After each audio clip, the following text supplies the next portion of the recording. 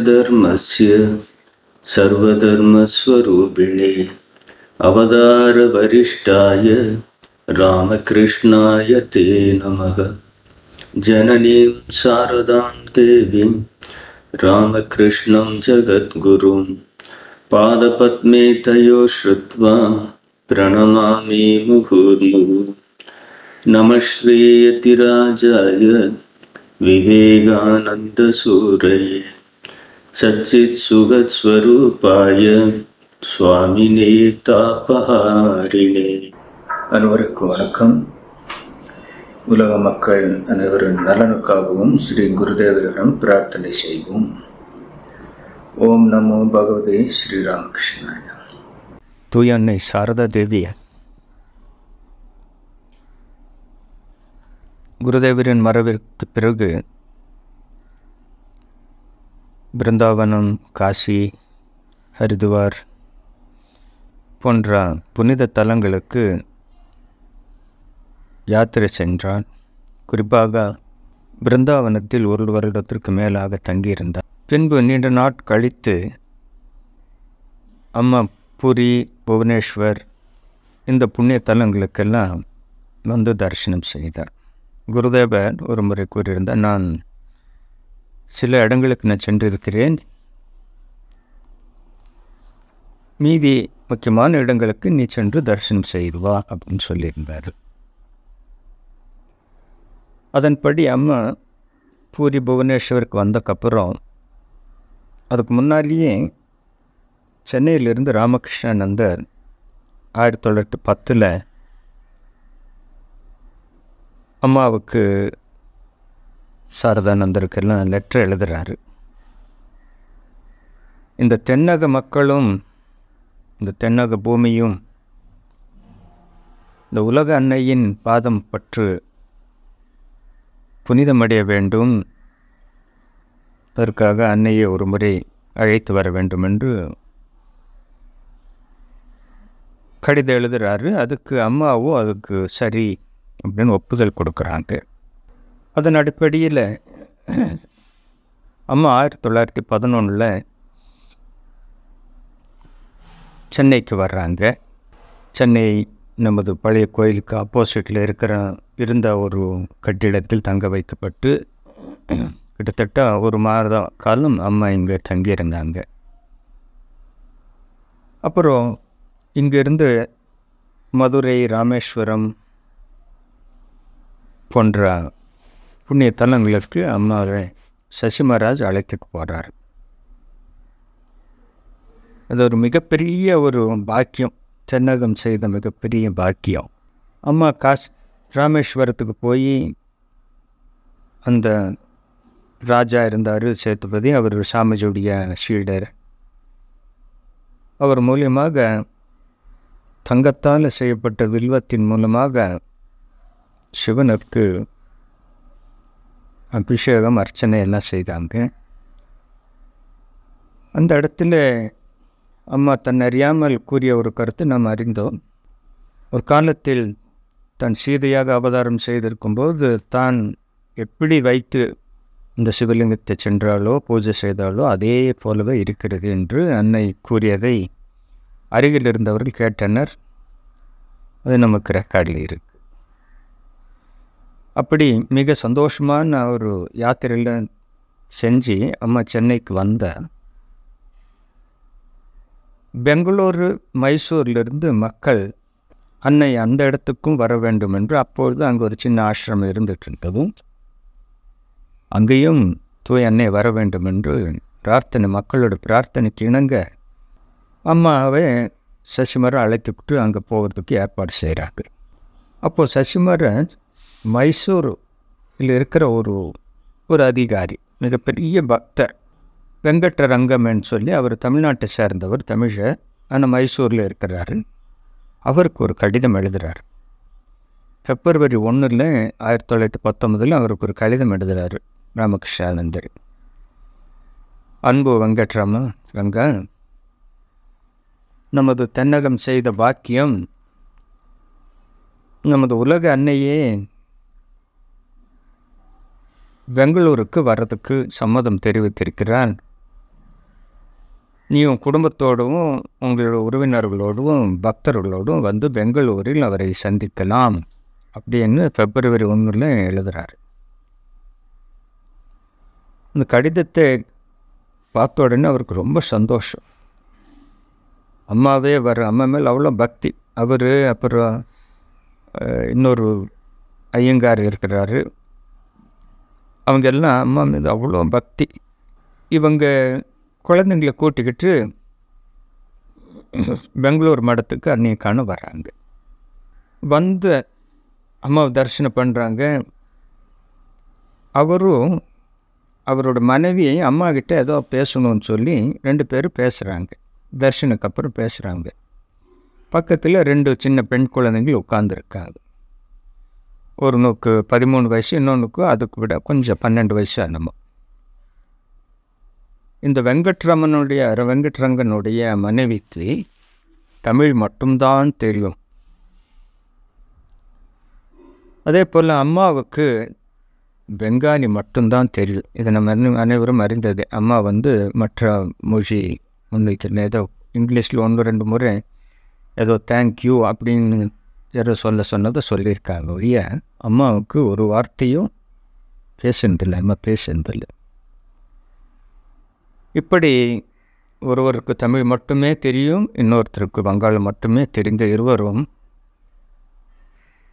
அரை மணி நேரத்துக்கு மேலாக அருகில் உட்கார்ந்து கொண்டு பேசிக்கொண்டிருந்தனர். நடுவு நடுவில் சிரித்து கொண்டும் அவ்வளோ சந்தோஷத்தை வெளிப்படுத்தி கொண்டும் இருந்திருக்கிறார்கள். இது இந்த பக்கத்தில் அந்த குழந்தைங்க பார்த்துட்டு ஆச்சரியப்படுறாங்க. அப்போது அவங்களுக்கு அவ்வளோ ஒன்றும் தெரியல. அம்மா அம்மா பாட்டுக்கு பெங்காலியில் பேசிகிட்டே இருந்தாங்க. அது அந்த அம்மாவுக்கு புரிஞ்சுது. அவங்க த- அவங்க பாட்டுக்கு தமிழில் பேசிகிட்டு இருந்தாங்க. அது அம்மாவுக்கு தூய் அன்னைக்கு புரிஞ்சிருக்கிறது. ஆச்சரியமன்றான விஷயம். இன்னும் அன்புக்கும் ஆறுதலுக்கும் மொழி ஒரு பிரச்சனையே கிடையாதுங்கிறதுக்கு இது ஒரு உதாரணம்.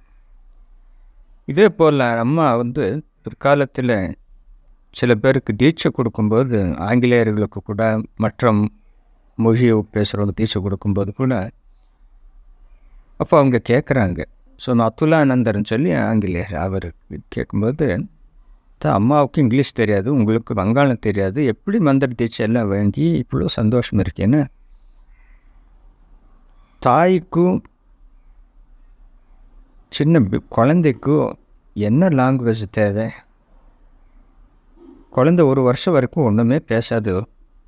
ஆனால் அம்மாவுக்கு அதுக்கு என்ன லாங்குவேஜ் தேவையோ அன்பை பகிர்ந்துக்கிறதுக்கு. அப்படி தான் எங்களுக்கு புரிஞ்சது. உங்களுக்கு அது ஒரு தடங்கலாத இல்லை அப்படின்னு சொல்கிறார் அதே போல் இந்த அம்மாவும் தூய் அன்னையோடு அவ்வளோ நேரம் பேசி சந்தோஷமாக போகிறாங்க அம்மா பெங்களூர்லேருந்து மீண்டும் சென்னைக்கு வர்றதுக்கு முன்னால் இந்த வெங்கட்ராமன் தனது மனைவி இருவரும் தனது ரெண்டு பெண் குழந்தைங்கள் அவங்களுக்கு சின்ன வயசு அவங்கக்கிட்ட எல்லோரும் வந்து அம்மா கிட்ட வந்து அம்மா இந்த குழந்தைங்க வந்து உங்களுக்கு சேவை பண்ணி உங்களோடவே வாழணும் அப்படின்னு இருக்காங்க. இவங்க உங்களோட நான் அனுப்பி வைக்கிறேன் அப்படிங்கிறார். அம்மா கூட சசிமராஜ் இருந்தார் மற்றவங்களும் இருந்தாங்க. அம்மா அவங்கள பார்த்துட்டு நல்ல குழந்தைங்க தான் பக்தி உள்ள குழந்தைங்க தான். ஆனால் ரொம்ப சின்ன குழந்தைங்களாம் அங்கே இருக்காங்க. இப்போ வந்து எனக்கு என்ன சேவை செய்ய முடியும்? கொஞ்சம் வளர்ந்ததுக்கப்புறம் எங்கிட்ட வரலாமே அப்படின்னு சொல்கிறாங்க அவங்களும் சரி. அம்மா சொன்ன வார்த்தைக்கு மறுபேச்சு அது அவங்களும் சரின்னு சொல்கிறாங்க ஸோ அப்போவே இந்த பெற்றோர் வந்து அந்த இரண்டு குழந்தை குழந்தைகளையும் அம்மாவுங்க பாதத்தில் ஒப்படைச்சிடுறாங்க. இது ஆயிரத்தி தொள்ளாயிரத்தி பதினொன்றில் நடக்குது. அப்புறம் இவங்க கொஞ்ச நாளில் ஸ்கூலு இதெல்லாத்த படித்து முடிச்சுட்டு நல்ல புத்திசாலி பிள்ளைகள் அவங்களுக்கு நேரம் வரும்போது அவங்க கேட்குறாங்க அம்மாக்கிட்ட நம்ம போய் சேவை பண்ணுறதுக்கு நேரம் ஆயிடுச்சுன்னு அவங்க அப்பாவே சொல்கிறாரு இவங்களும் சரின்னு ரெடி ஆகிறாங்க. ஆயிரத்தி தொள்ளாயிரத்தி பதினேழாவது ஆண்டு அக்டோபர் பதினொன்று பதிமூணில் இவங்க கிட்டத்தட்ட பதினெட்டு இருபது வயசு ஆகிடுது பெங்களூர்லேருந்து இன்னொருத்தர் ஒரு துணைக்கு ஒரு ஆளை கூட்டிட்டு இந்த பெண்கள் வந்து நேராக அம்மாவை பார்க்கறதுக்காக உத்போதனுக்கு வர்றாங்க கல்கத்தான்றாங்க. வந்த உடனே முதல்ல சாரதானந்தர் தான் அவங்கள வரவேற்கிறார்.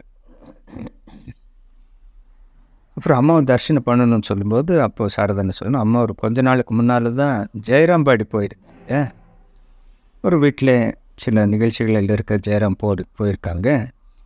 வர்றதுக்கு ஒரு ரெண்டு மாதமாவது ஆகும். நீங்கள் இங்கே தங்குங்கோ அம்மா வந்ததுக்கப்புறம் அம்மாவுக்கு சேவை பண்ணலாம் அப்படின்னு அவர் சொல்கிறாரு அவங்களுக்கு மிகப்பெரிய ஒரு ஏமாற்றம். இத்தனை வருஷம் கழித்து அம்மாவை பார்க்கணும்னு சொல்லி வந்தோம். வந்த இடத்துல அம்மாவை பார்க்க முடியலன்னு சரி ஏமாற்றம். இருந்தாலும் சாரதா நந்தரி சாரதா நந்தர் தாயை போல் இருக்கிற உள்ளம் அவருடைய அன்பு அரவணைப்பு அவருடைய வழிகாட்டுதல் அவங்களுக்கு ஒரு ஆறுதல் கிடைச்சிது.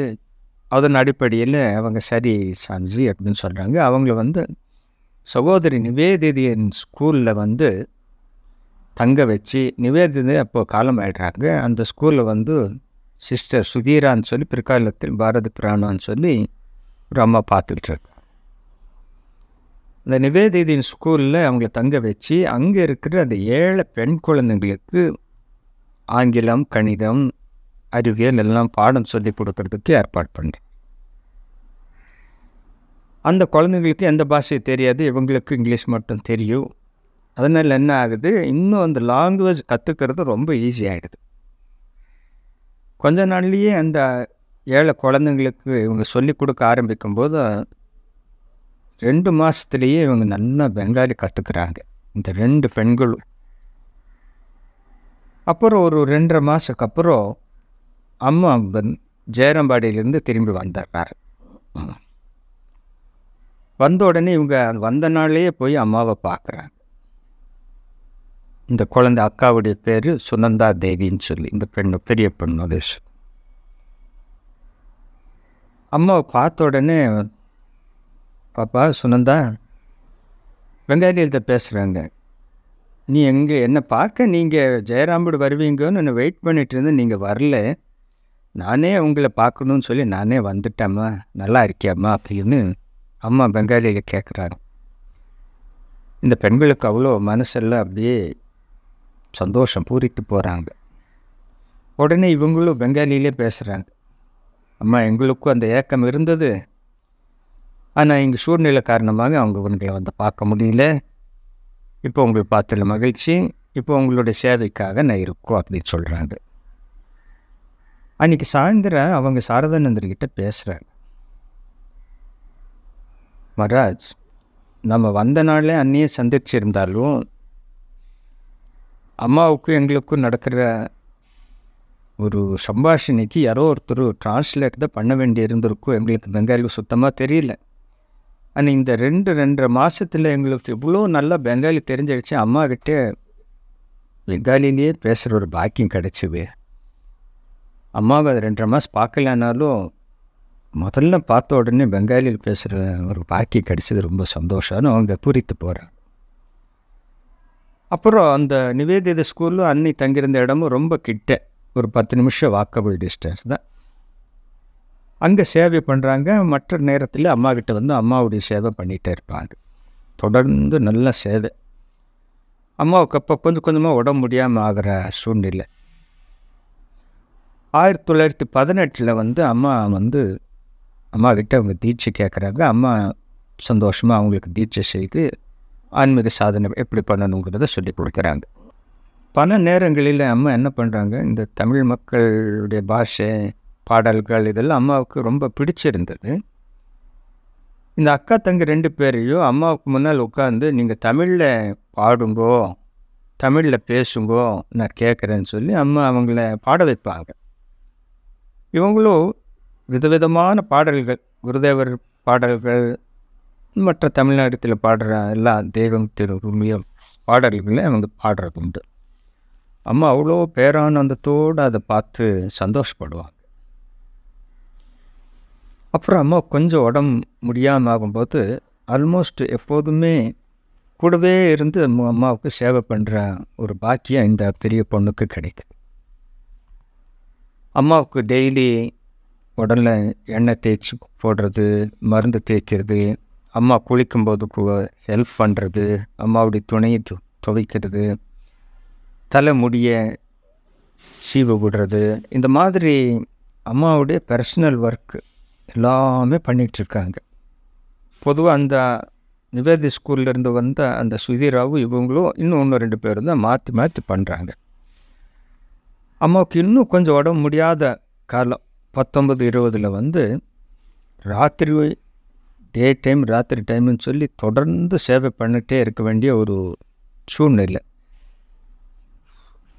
அந்த நேரத்தில் இவ டே டைமும் சேவை பண்ணி இப்படி அதிகாலை ரெண்டுலேருந்து நாலு மணி வரைக்கும் இவளுடைய டியூட்டி டைம் அப்போவே சாரதானந்தர் அவ்வளோ அம்மாவுடைய சேவையில் எந்த தொய்வு பாதிப்பு வரக்கூடாதுங்கிறதுக்காக டைம் டேபிள் போட்டு ஒவ்வொருத்தருக்கும் இந்த டியூட்டி இந்த நேரத்தில் இந்த வரைக்கும் இவங்களுடைய பொறுப்பு. டே டைமில் இத்தனை மக்களுடைய பொறுப்புன்னு இன்னாருடைய இதுன்னு சொல்லி அவ்வளோ கிளியர் பண்ணி அம்மாவுடைய சேவைக்கு எந்த தடங்கள் வராத அளவுக்கு அம்மா பார்த்துட்டு இருந்தாங்க. ரொம்ப அசந்து போனாங்க எல்லாரும். ஸோ இந்த பொண்ணும் சுனந்தா தேவியும் ரொம்ப சந்தோஷமாக அம்மாவுக்கு சேவை பண்ணி உயிரை கொடுத்து சேவை பண்ணிட்டு இருந்தாங்க. இதெல்லாம் பார்த்து அம்மா பல முறை சொல்லியிருக்கேன் எவ்வளோ அன்பாக நீங்கள் சேவை பண்ணுறீங்க நீங்கள் எங்கேயோ பிறந்த பிள்ளைங்க ஏதோ ஒரு உரத்தில் பிறந்த இவ்வளோ ஒரு பக்தி குருமர் மேலே பக்தி. என் மேலே அன்பு. உங்களுக்கு நல்லது நடக்கும் உங்களுக்கு நல்லது உண்டாகட்டும்னு. அந்த அளவுக்கு அம்மா அவங்களுக்கு மனக்குளிர அவங்கள ஆசீர்வாதம் பயிறாங்க அவங்களும் என்ன சின்ன வயசுலேருந்தே எங்கள் பெற்றோர் எங்களை உங்களுடைய சேவைக்காக தானே அம்மா அனுப்பியிருந்தாங்க எங்களுக்கும் அதுதானே பாக்கியம் சொல்லி அந்த சொல்லுவோம் உண்டு. இது சேவை போயிட்டுருக்கு. எவ்ரி ஆல்டர்னேட் டேஸ் மறுபடியும் ஸ்கூ அந்த ஸ்கூல் விஷயத்தையும் அம்மா வந்து கேட்டுகிட்டே இருப்பாங்க. எத்தனை பெண்கள் படிக்கிறாங்க எவ்வளோ மார்க் வாங்குகிறாங்க அவங்கள ஆரோக்கியம் எல்லாம் எப்படி இருக்குது அவங்களுக்கு உங்களை பிடிச்சிருக்கா? அந்த குழந்த வந்து குழந்தைங்கெல்லாம் உங்களோட நல்லா பழகுறாங்களா? அவங்களுக்கு சாப்பாடு என்ன? இதெல்லாம் டீட்டெயிலாக கேட்குறாங்க இன்றளவும் அந்த நிவேதித ஸ்கூலில் இருக்க. அதிலிருந்து படித்த பிள்ளைகள் வந்து பெண்கள். மிகப்பெரிய பதிவுகள் ஐஏஎஸ் ஐபிஎஸ்லெல்லாம் இருக்காங்க. அது அம்மாவே ஆரம்பித்து வச்ச ஒரு பள்ளியாச்சு. இப்படியெல்லாம் பண்ணுறாங்க அம்மாவுக்கு உடல் நலம் ரொம்ப முடியாமையே வந்துக்கிட்டு இருக்குது இவங்க டுவெண்ட்டி ஃபோர் ஹவர்ஸ் சேவையிலேயே இருக்காங்க. சாரதானந்தர் கண்காணிப்பில் இவங்க சேவை பண்ணிகிட்ருக்கு அப்பப்போ வேலூர் மட்டுக்கு வந்து தரிசனம் பண்ணிட்டு போவாங்க. பிரம்மானந்தர் அப்பப்போ முடியும்போது பார்ப்பாங்க. சுவாமி சிவானந்தர் பிரேமானந்தர் அடிக்கடி போய் பார்ப்பாங்க. அவ்வளோ பாக்கியம். சிவானந்தர் இவங்களை எப்போதுமே ரொம்ப கூப்பிட்டு ரொம்ப என்கரேஜ் பண்ணி பேசுவார். நம்ம சிவ ஏன்னா சிவானந்தர் பிற்காலத்தில் தமிழகத்தில் வந்து மிகப்பெரிய ஒரு ஆன்மீக பொக்கிஷத்தை அவரு கொடுத்துட்டு போயிருந்தார். பிரம்மானந்தர் போன்ற ஒரு இது சசிமராஜ் எப்படியோ பிரம்மானந்தர் எப்படியோ அதே போல் சிவானந்தரும் வந்து பிற்காலத்தில் தமிழகத்தில் இருக்கிற முக்கியமானவங்களுக்கெல்லாம் தீட்சை கொடுத்து பிற்காலத்தில் அவங்க மூலியமாக இந்த ராமகிருஷ்ண இயக்கம் மிகப்பெரிய வளர்ச்சியை கண்டு கொண்டு இருக்கிறது. அப்படி சிவானந்தர் வந்து இவங்களை ரொம்ப என்கரேஜ் பண்ணி சேவையிலையும் ஆன்மீக சாதனை பண்ணுறதுலையும் அவ்வளோ பண்ண சொல்லி பண்ணிட்டு இருந்தாங்க. உங்களுக்கு ஒவ்வொரு கணமும் ஒரு சந்தோஷத்தை கொடுத்துட்டே இருந்தது. வேலூர் மட்டும் போகும்போது சரி அன்னையும் சேவையிலும் சரி. அவங்களுக்கு இந்த கல்யாணமோ இந்த குடும்ப விஷயமோங்கிற அப்புறம் அந்த பேச்சுக்கே இது அந்த எண்ணத்துக்கே இடமில்லாத அளவுக்கு அவங்களுக்கு ஒரு ஆனந்தம் கிடச்சிக்கிட்டே இருந்தது. அவங்க பெற்றோருக்கும் அதை விட சந்தோஷம். ரெண்டு பெண்கள் அம்மா வந்து அடிக்கடி சொல்கிறது யாராவது பெங்காலில் நாலஞ்சு பெண்களை பெற்றுட்டு இவங்களை கல்யாணம் பண்ணி வைக்க முடியல என்ன பண்ணுறது அப்படின்னு சொல்லி வந்து முறையிட்டு இருப்பாங்க அதனால் என்ன பாரு சுனந்தா தேவி அவங்க சிஸ்டர் மாதிரி சேவை பண்ணி வாழ்க்கையில் நல்லா இருக்கலாமே. கல்யாணம் தான் பண்ணணுமே என்னான்னு அம்மா வந்து அந்த தன்னை அண்டி வந்து இந்த மாதிரி கேட்குறவங்களுக்கு பதில் சொல்கிறதுண்டு கல்யாணம் பண்ணி வைக்க முடியல காசு கம்மி வரதட்சணை அது இதுன்னு யாரோ வந்து சொல்லும்போது நீ அதுக்கெல்லாம் ஏன் ஒரி பண்ணிக்கிறேன் நடக்கும்போது நடக்கும். இல்லைன்னா அவங்க இந்த மாதிரி சேவை பண்ணட்டுமே. அப்படின்னு அம்மா சொல்கிறாங்க நம்ம அன்பு மொழிகளையே நம்ம பார்க்கலாம். அப்படியே அம்மா இவங்களை ஒரு எடுத்துக்காட்டாக மக்களுக்கு சொல்கிற அளவுக்கு ஒரு சேவையோ ஒரு ஆனந்தத்தையோ அம்மா கண்டாங்க. கடைசியாக அம்மாவுக்கு ரொம்ப உடம்பு முடியாதாகி கடைசி நேரம் வந்துடுது. டே நைட்டு இருந்து அம்மாவை பார்த்துக்கிட்டு இருந்தாங்க. கடைசி அந்த ரெண்டு மூணு நாள் டைமில் அம்மாவுக்கு ரொம்ப அந்த உடல்லெல்லாம் இந்த தோல் எல்லாம் உறிஞ்சி எல்லாம் அப்பப்போ வர்றது காலில் அங்கே எங்கே தோல் அது எல்லாத்தையும் இந்த அம்மா எடுத்து வைப்பாங்க. அம்மா நகத்தை வெட்டுறாங்க அதையும் எடுத்து வச்சிடுறாங்க. தலையிலிருந்து முடி கொட்டுது அது எல்லாத்தையும் எடுத்து வைக்கிறாங்க. அம்மா அந்த நேரத்துலையும் சிரிப்பாங்க அம்மா ஒரு காலத்தில் பெரிய நீண்ட முடியாக இருந்தது. நிறைய நான் குளிக்கும் போதெல்லாம் நிறைய முடியை உதிர்ந்து போயிட்டு இருந்தது. இப்படியெல்லாம் பிற்காலத்தில் இதெல்லாம் உ- நீங்கள்லாம் விரும்பி இதை எடுக்கிறதா இருந்தால் நான் அதெல்லாம் எடுத்து வச்சிருப்பேனே அப்படின்னு சொல்லுவாங்க. இன்றளவும் அம்மாவுடைய அந்த பொருட்கள் உடலில் இருந்த கிடைச்சது எல்லாமே வேலூர் மட்டிலையும் உத்போதன்லையும் ஜெயராம்பாடியிலும் பாதுகாக்கப்பட்டு வரைந்து கொண்டு இருக்கிறது ரெடிக்ஸில் இருக்குது அப்படி அம்மா கடைசி வரைக்கும் இவங்களுடைய சேவை ஏற்றுக்கிட்டது அம்மாவுடைய உறவினர்கள் யாரையும் அந்த நேரத்தில் கடைசி நாளில் மூணு நாள்லன்னா உடலை. அண்ட் இவங்க மட்டும் சேவை பண்ணிட்டு இருந்தாங்க.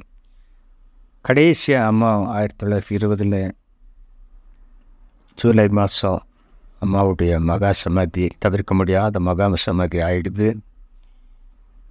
மனசில் ரொம்ப வேதனை.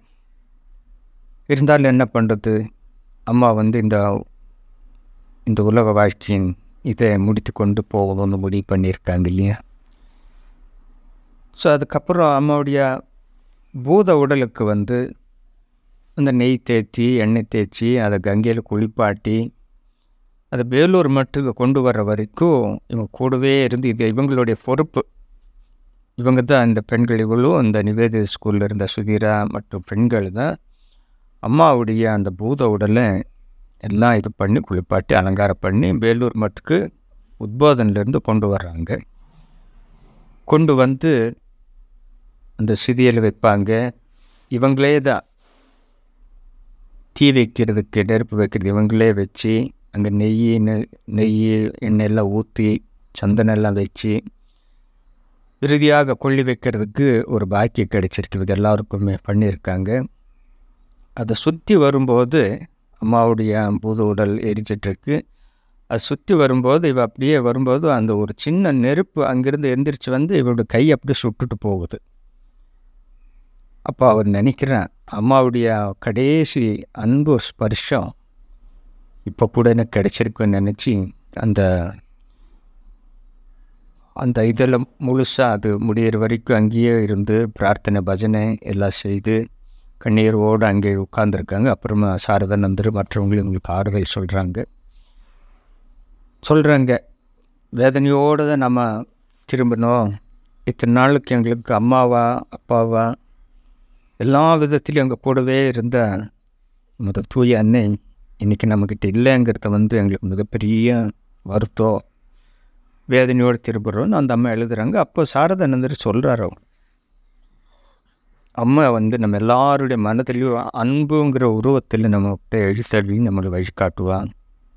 நீங்கள் பயப்படாதீங்க அப்படின்னு சொல்லி சாரதன் இந்த ஆறுதல் கூறி அனுப்புகிறாங்க ஸோ அந்த மாதிரி அம்மாவுடைய வாழ்க்கையில் குறிப்பாக இறுதி நாட்களிலெல்லாம் மிகப்பெரிய பாக்கியப்பட்டு சேவை செய்ததற்கான பாக்கியம் வந்து இந்த சுனந்தா தேவிக்கு கிடைச்சது. அது ஒரு தமிழ் பெண்ணுக்கு கிடைச்சது வந்து மிகப்பெரிய ஒரு பாக்கியம். நம்ம சொல்கிறாங்க எங்கேயோ பிறந்த நான் எங்கள் அப்பா மைசூர் சமஸ்தானத்தில் வேலை பண்ணார். சின்ன வயசுலேருந்தே அம்மா மீது ஒரு ஈர்ப்பு. அம்மா பாதத்திலேயே வாழணுங்கிற ஒரு எண்ணம். அன்னியின் கருணையால் அந்த பாக்கி கிடச்சிது. அன்னியக்கு கடைசி நாள் வரைக்கும் சேவை பண்ணுற பாக்கி கிடச்சிது. அம்மாவுடைய மறைவுக்கு அப்புறம் கூட அம்மா எங்களோட தான் இருக்காங்க. எப்போதுமே அன்புள்ள கொண்ட எல்லா மக்களிடத்துலையும் அன்னையின் அருள் வெளிப்பட்டு கொண்டே இருக்கும். இது நான் பட் இந்த ஜென்மத்தில் நான் செய்த மிகப்பெரிய புண்ணியம் என்று அந்த அம்மா சுனந்தா தேவி சொல்கிறாங்க அப்படி அந்த அம்மா மீது உண்மையான அன்பு கொண்டு எந்த சேவையானாலும் அம்மாவுடைய சேவையாக நினச்சி நம்ம பண்ணும்போது அம்மா உயிரோடு இல்லைன்னாலும் அந்த உடலில் இல்லைன்னாலும் அம்மாவுடைய அந்த சக்தி அம்மாவுடைய ஆசீர்வாதம் எப்போதுமே உலகத்தில் நிறைந்திருக்கிறது. நமக்கும் அந்த அம்மாவுடைய அன்பும் அமைதியும் ஆதரவும் எப்படி இந்த சுனந்தாதேவிக்கு கிடைத்தது போல நமக்கும் கிடைக்க வேண்டும் என்று வேண்டி அம்மாவது பக்தியும் நல்ல மனமும் தந்து அம்மா நம்மளை காப்பாற்ற வேண்டுகிறோம். திருமூவர் நமக்கு நற்கதியை காட்டட்டும். மீண்டும் சந்திப்போம். ओम शांति शांति शांति। हरि ओम तत्सत। श्रीरामकृष्णात् प्रणमस्तु